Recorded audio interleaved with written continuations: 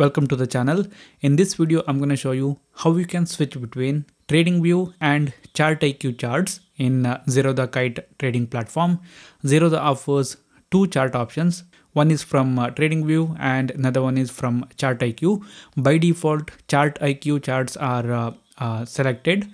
For example, here, if I open up Nifty 50 chart, then uh, we can see the chart from ChartIQ.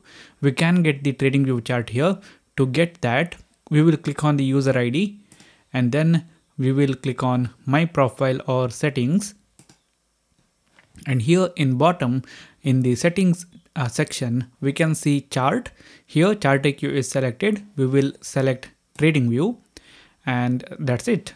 After that, if I open up a new chart in here, for example, I'm going to open up the Federal Bank chart. Now you guys can see here TradingView chart is displayed. So this is how we can switch between trading view and ChartIQ charts in Zerodha Kite web trading platform. If you like this video, hit the like button. If you don't like it, hit the dislike button.